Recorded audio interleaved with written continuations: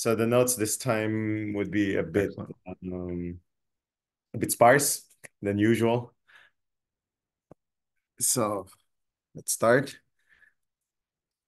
So hopefully you can see the screen, okay? So I'll be dealing with 11.1 to 11.3. I'll do 11.4 and 5 next week. So the from what I could gather from this uh, chapter, there are three objectives. One is the first section is really to document a numerical instability when solving diffusion equations, which is really uh, a fancy way of saying a, par a partial, a particular type of partial differential equation, and then you're trying to apply what you learned from chapter six directly. So what's going to happen in that kind of situation? And they document a sort of a numerical instability within the context of a of an example from finance. Uh, that's the first part. Uh, the second part is to work out a possible solution to this instability. Okay. And the solution is actually not very difficult, but surprising. And then the third uh, part is really about a missing component of the solution that uh, that is worked out in the second part. Okay, and it's really all about the notion of absolute stability. Okay, so those are the three things um, going for for us in the th the first three sections of chapter eleven. Okay, so just um just one thing about uh section eleven point one is that I think it's best to read it from the middle rather than from the beginning. Uh, so you have to understand that the context of the Black-Scholes equation, which is something that is used in finance. And although I, I did dabble a bit in finance, I never, it's not this type of finance. So, um, so I, I don't know much about it, never used it. Can, could talk about it, but that's about it. Yeah. Um, so it's best to think of it's best to think of that example as just a running example to motivate why we would want to study a diffusion equation. Now, the that's the focus of the chapter, and most of the most of the work is really about this uh, diffusion equation. And there are many names for diffusion equations referred to in the book. They, sometimes you see it as diffusive processes. Sometimes you see it as parabolic PDEs or parabolic partial differential equations, or evolutionary PDEs. To be honest, I really don't know whether these are the right terms. Okay. But the ultimate objective is to solve a type of partial differential equation called the diffusion equation. And one specific type of diffusion equation is this heat equation that looks like this that you see in the screen. So the subscript here refers to the derivative, the partial derivative with respect to that particular variable in the subscript. So when you see u sub t, what that means is the partial derivative of u with respect to t. And when you see u sub xx, that means it's a second order partial derivative with respect to x, then x again. Okay. And the task is to solve uh, this equation. And the meaning of that is we're trying to look for a function of both x and t so that you could satisfy uh, the equation that you see on the screen. Okay. So that's essentially the, the objective. And the Black-Scholes equation could be rewritten as a form of a heat equation. That's why that's the motivating example. Okay. K is a diffusion, what is called a constant diffusion coefficient. But in the exposition in the book, the K is usually set to one. Okay, so we're going to be looking at that version where K is equal to one. And Black-Scholes is really just a motivating example. Okay, so the solution, or at least a, a solution to this uh, heat equation involves a function of two variables, which in the book they refer to x as the space dimension, and then t is the time dimension. Okay. So the solution would involve a function of two variables, and it's very natural to apply what you learn from chapter six. So from chapter six is really about ordinary differential equation, and the idea is really just to discretize. Okay, that's the that's the main main technique okay, with some fancy footwork to deal with instability. Uh, so apply chapter six, discretize this time over space and time. That's the natural thing to do. And um, and let me just show you what it kind of looks like broadly. Okay. So this is the Black-Scholes equation that is available. Okay. Again, it's not very important how you get to this point, but rather that this uh, this could be rewritten as a heat equation, but the the book doesn't tell you how to do that. But if we believe that, then it's this is the case. Um, so if you notice, you have this discretization over space and time in equation 11.1.8. So you divide space into these number of nodes, i from i equals 0 to m, and then the time part from j equals 0 to n, okay? And this time, this is going to be very uncomfortable, especially if you're coming from chapter 6, is because they're recycling the letters, but the letters this time mean something different. So this is something to pay attention to, okay? So h is sort of like the interval length uh, for the discretization in the space uh, dimension, and then tau is the um, uh, the length of the interval when you discretize in the, in the time dimension, or some people, or in the book, they would call it a time step, okay? A time step size, okay? So the idea is to solve for V here, and then there's this discretization. It's a function of both space and time. So that's why you see VXITJ here. And then the idea is to replace these partial derivatives by their uh, finite difference counterparts. This is from chapter five. And the result from 11.1.7 after doing that is, or this our result is what you see in 11.1.9. Okay. Now I said a result because the one thing that you should notice is that the there are many versions of a finite difference. And here, the choice for the left-hand side is a forward difference, but the choice for the right-hand side, okay. So here you see V sub S. So this is the derivative of V with respect to capital S. That's the space part, no? Um, you would notice that it's I plus one and I minus one. So this is a centered uh, difference. And you would also see it for the second derivative, and this is the centered second second derivative uh, finite difference formula. So the left-hand side is using um, a forward difference, while the right-hand side are you're using a centered difference. So that's one thing to pay attention to. Okay, so that's what I mentioned here in as, a, as one of the points. Observe the replacement of the derivative by finite differences, and that the left-hand side and the right-hand side are using different kinds of finite differences. Uh, I didn't have the the time, or at least I didn't. Um, I wasn't able to really write out a convincing argument for this part as to why it would be done this way. But it turns out that if you use a different kind of difference, finite difference, then you need you might have to use matrix algebra. And I think what what they mean by this is that you might have to invert a matrix. Okay.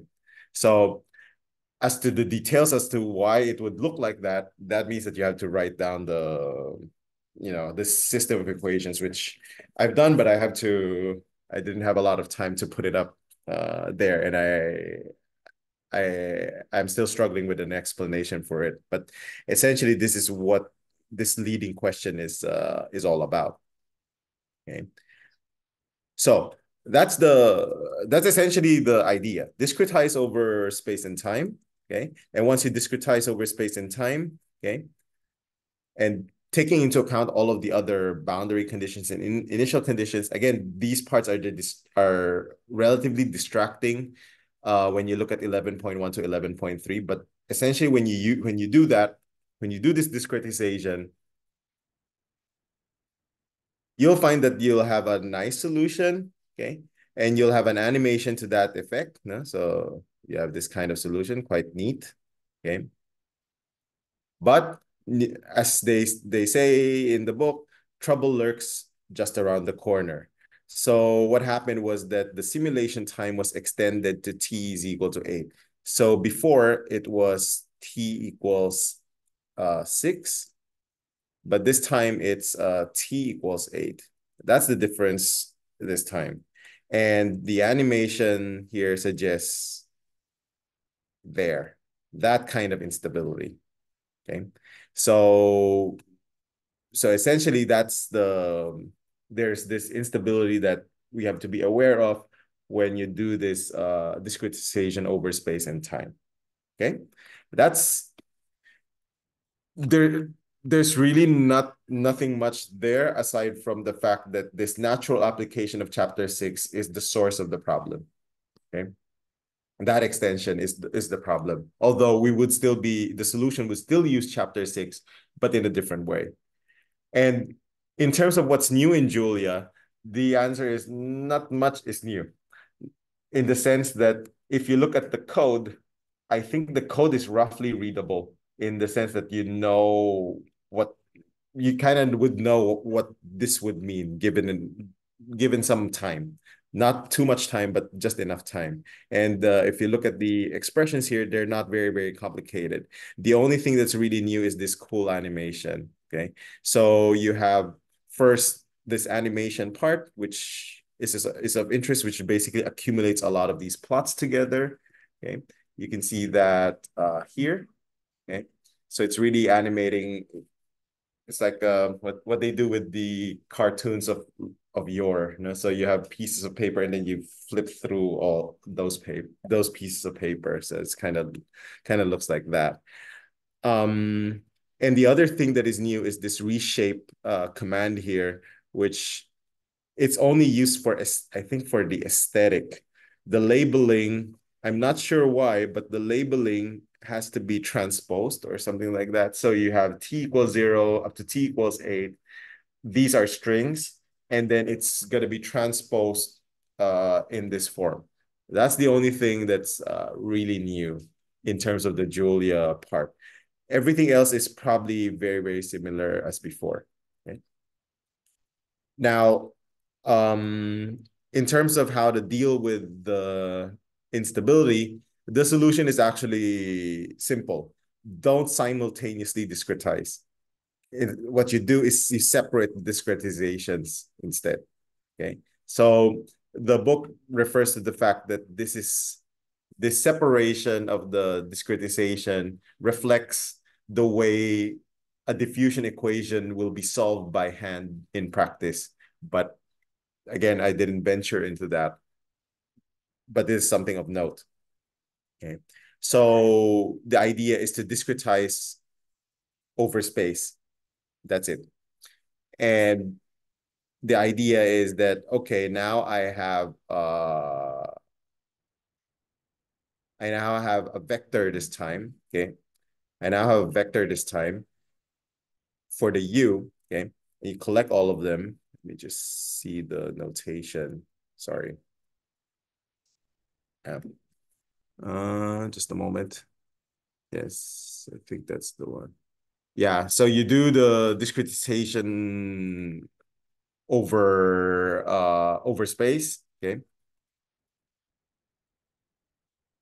And then once you do that, okay, once you do that, you the the functions here u sub zero, u sub one, and so on are still continuous functions of t, okay? And what's going to happen is that this derivative, partial derivative of u with respect to t, okay, is now uh, in this form, okay, in this form as an ordinary derivative, okay? You've already discretized over space. And then for u sub xx, this time you're also going to be exploiting the fact that you discretize over space. So the the finite differencing that you're going to be doing is over space and the version of the par second order partial derivative is this d sub xx uh, matrix that we've seen before in chapter 10 okay? And as a result you would see that this is a system of linear ordinary differential equations okay? Um you would notice that you have the derivative of some uh the derivative of u and then here it's a function of u okay and this d sub xx is really a constant matrix. So that's the constant coefficient. So that's why it's called the linear constant coefficient system of ordinary differential equations. And this d sub xx were these are the differentiation matrices inspired by those finite difference formulas. And um the version that you see in the book is not exactly the one that you see in 10.3, but it's roughly similar. It's only adapted to the special case of periodic end conditions. So that's what they did in 11.2. So they're trying to they're trying to lead you to the fact that it's not the initial conditions or the boundary conditions that are the problems, but rather the way you discretize that is the source of the problem. So they decided to turn off these boundary and initial condition stuff and decided to deal with periodic uh, periodic conditions instead. Okay. And again, uh, as I mentioned, the notation could be a bit unnerving. H is not a time step, unlike what you see in chapter six, but it's rather the space step, if you if you wish. Okay. And then once you have this kind of vector of uh, ODEs, okay, a system of ODEs, you just apply chapter six directly, okay? Okay. But again, there's this trouble lurks just around the corner because there's still a missing concept uh, and there's still some sort of instability that we have to document this that we still have to document okay so they they're able to control for the fact that it's not the initial or the boundary conditions that are causing the problem. Uh, the discretization over over space alone uh, helps, but there's still one thing that uh, that is missing. So how do we actually apply uh, chapter C, is chapter six to the semi-discretized uh, partial differential equation? Um, the idea is to, again, map everything that you've seen in chapter six into chapter 11, taking into account that instead of looking at scalar ODEs, you're looking at vector ODEs. That's one. The second is that the time steps are in tau rather than in h, okay? Because we're now looking at uh, uh, the time step discretization. So you've already done the space dis discretization. You're now going to do the time discretization. So an example is this. Uh, I'm going to show you three examples. The first example is this Euler initial value problem integrator. The iterations, no, the the solution. One way to generate a solution, a numerical solution, is to march forward in time. That's the idea there, and um, the iteration is given by this ex expression that you see here. This is from chapter six. And what you're going to do is just map it to chapter 10. So instead of the UI, so they changed the notation. Oh, this should be J. Okay. So instead of uh, I, it's now labeled as J, but they're they're really just the index for the um, for the time steps. Okay. And then the other thing is that instead of the scalar, you now have a vector, okay? And then the h, instead of h, which is the time step before in chapter six, is, is now tau. And then this FTIUI is really the this expression here, okay? Okay. So, so that becomes dxx u sub j. And then you could factor out the u sub j, and then you have this expression that you see here. Okay, and this i here should really be a j. Okay, so this is the version of the iteration uh, or finding of a solution uh, for a partial differential for for a diffusion equation using Euler's uh, method. But this is unstable, and you could see that from 11.2.3. And let me just point that out. Yeah. There's an, an, an animation that you that you would see here. Okay. Yep. There's that instability. Okay. Okay. So that's that's the first example. The second example is a backward Euler or a one-step Adams-Moulton uh, IVP integrator uh, or called AM1 the iteration is given by this expression that you see here with the convention that this f sub i plus 1 is really the f t sub i plus 1 comma ui plus 1. That's the convention uh, from chapter 6. Now mapping it to chapter 10, again, the indices are now in terms of j, and then the u, instead of a scalar, you have a vector. The time step is tau instead of h. And then this f sub i plus 1, again, uses dxx u sub j, but because it's i plus 1, one, one time step further, so that's why it's uh, j plus 1. And then if you if you rewrite this, you would notice that you would have this uh, uh, this form for the iterations. Okay, so you need to invert invert a matrix. Okay, the dxx matrix is actually a sparse matrix. Okay, and this whole thing is also quite a sparse matrix, but the inversion is fast and the stable algorithms are are possible are available. Okay, and from the demo, from the next demo, you would find that uh, this is actually quite stable relative to the Euler's to Euler's method. And AM1 or back and or backward Euler is one of those implicit uh implicit methods. Okay. At this time it's an implicit time it's an implicit time stepping methods. Okay. And they are more stable. And this is what you see in chapter six as well. Okay. Now there's an exercise uh from 11.2 where you're asked to actually write down and code the uh, AM2, okay? So if you want to code that AM2, let me, let me show you that exercise.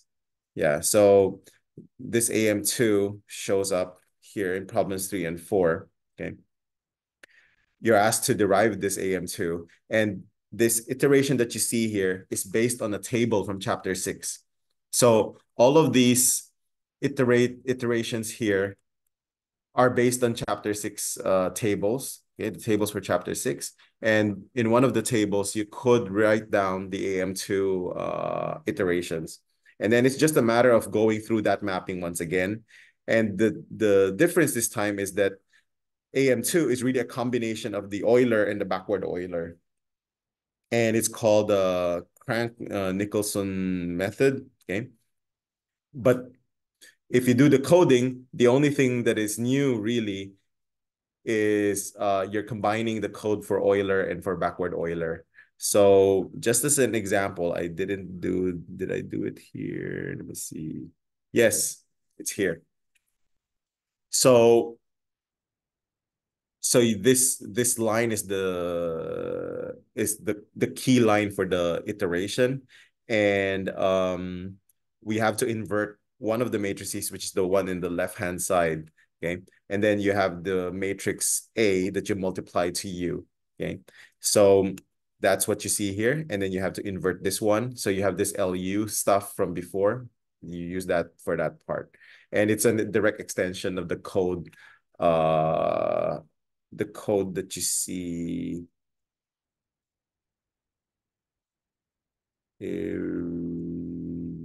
Okay, I think here, yeah. So this is the Euler version. So if you want the backward Euler, there's a matrix here in front. So you have to invert. Okay, so there's this LU stuff that you have to do. You could see that here. So you just combine the code together and then you get Crank-Nicolson. Okay. And uh and then you could adapt the code in a in pretty much the same way create an a movie for the an animation for the for the stability part and then you're done and then you're done with that. Okay. Okay. Yeah. So this derivation okay is also useful because you'll be asked to to look at the stability of this am2 in 11.3 okay. There so that's uh roughly the sort of like the main idea for main ideas for 11.1 and 11.2. So there's this instability uh when you do the discretization simultaneously. So what you do instead is you do it step by step. You do it sequentially. And uh when you do that, uh basically what you do is you discretize over space first, okay? And then you'll have the resulting discretization is a vector, uh, it's a system of ODEs that are linear and have constant coefficients. And then you could directly apply things that you see in chapter six, but in vector form. And then uh, you see again the fact that implicit methods are doing very, very well. Just like what you see in chapter six, okay? So, so what is how, so you've seen that even if we do the sequential discretization, applying chapter six might still result in instability, kind of like what you see for the Euler integrator. But it doesn't happen for AM1. It also doesn't happen for AM2. So the question is why?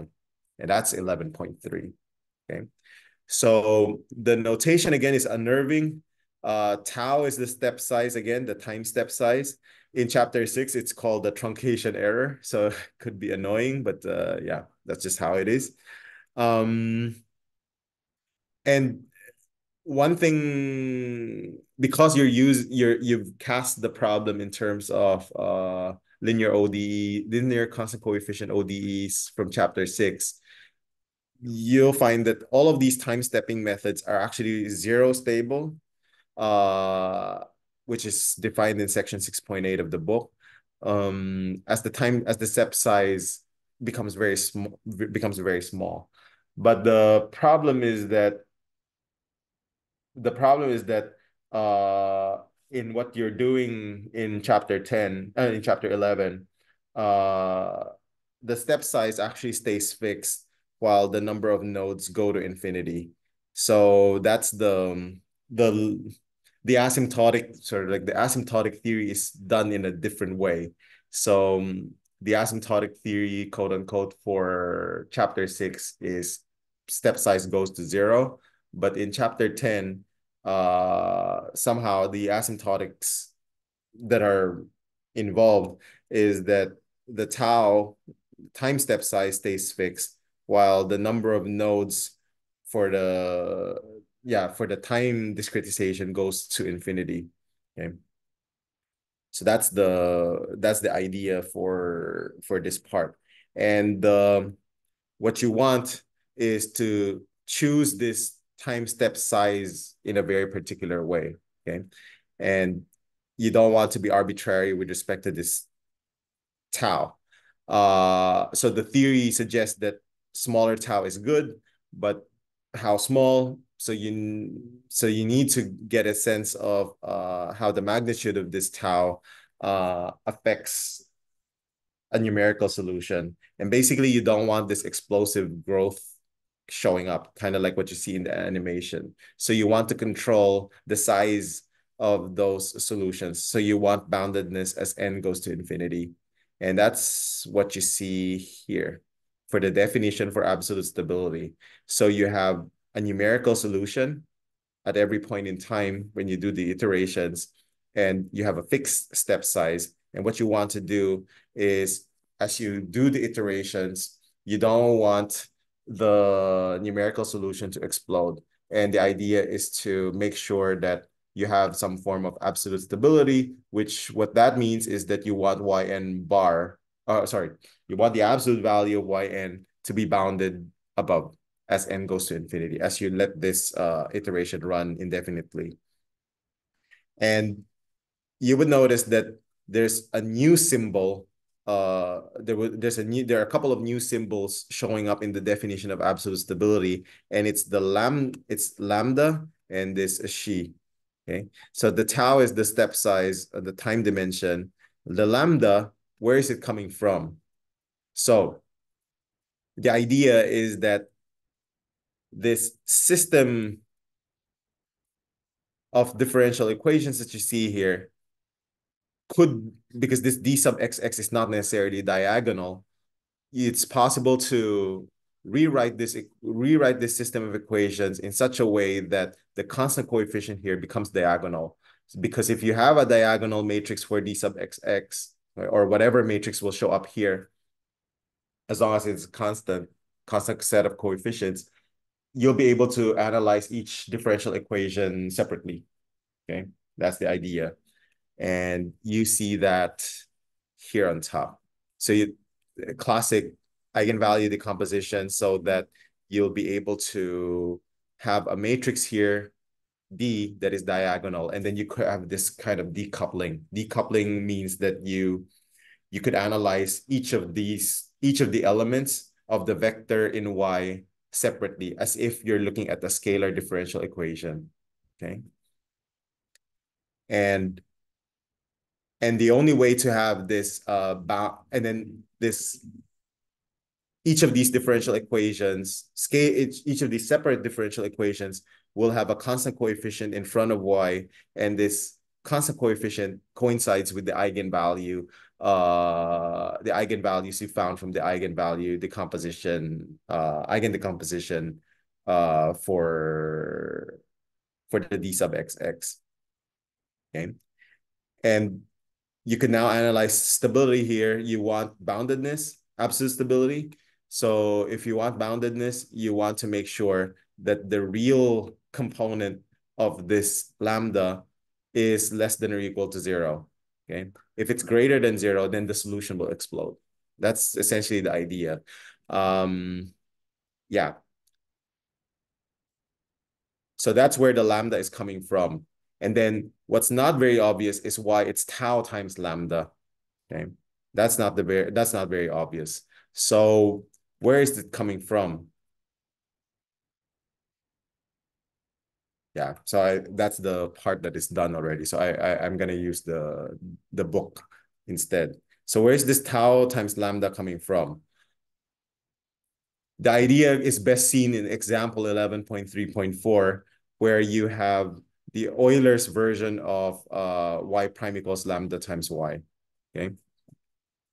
So here go you could you could do the discretization here, kind of similar to what I've done, uh, for example, one here in the in the notes, okay?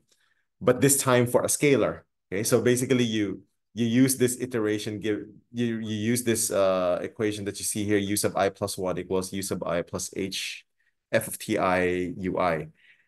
But this time, instead of u, it's y, okay? And then instead of h, it's tau. That's the that's the only change this time. Okay. And then here you'll quickly see that there's a tau times lambda showing up. Okay. Tau times lambda showing up. And in fact, in in this class of equations and in the discretizations that you're going to be doing, tau times lambda shows up prominently. Okay. So it's not just the step size that plays a role in absolute stability. Okay but the eigenvalues uh they also play a role okay? That's the and it's their product that plays a role okay? So that's the that's the key thing okay? So essentially what this tells you is that there are restrictions on on this tau times lambda uh that you have to sort of like respect so that you would get meaningful results from the from the integrator that you're using, okay?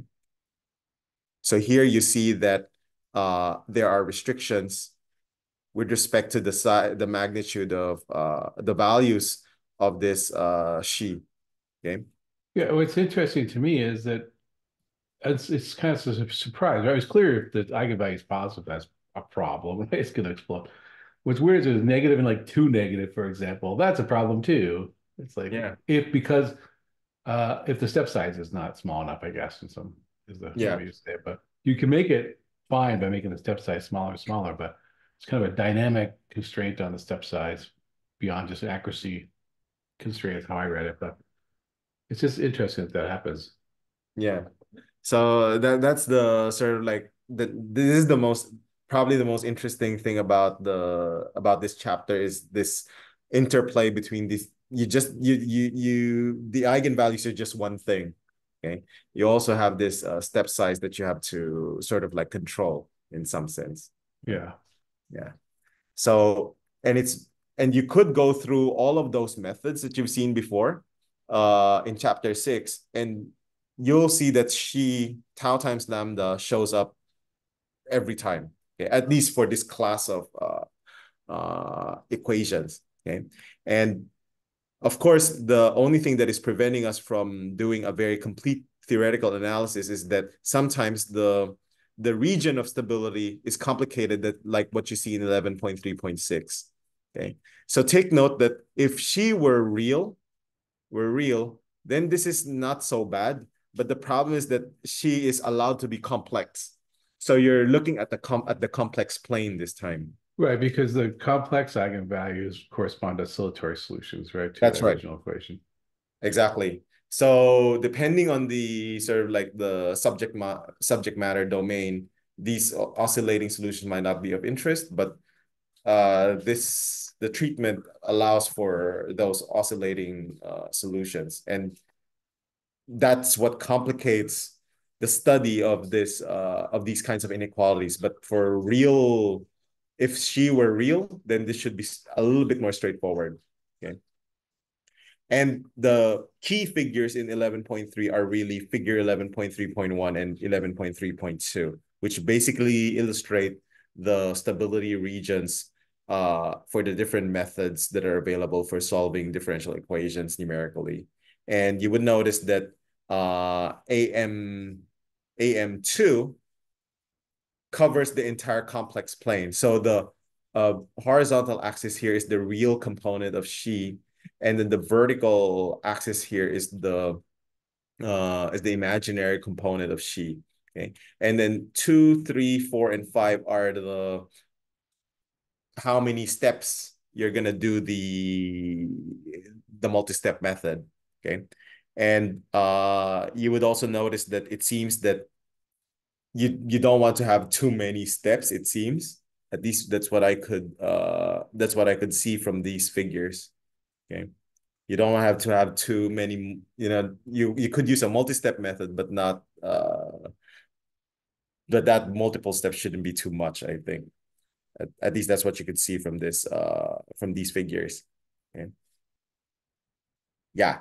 So so what ha what happens is that uh, these create constraints as to what step sizes should you, you should be focusing on. So in so in that sense, this is more practical. This is a little bit, this is quite practical. But the problem is that the problem is that you need, I think you at some level to use it in practice, you need to know what lambda is.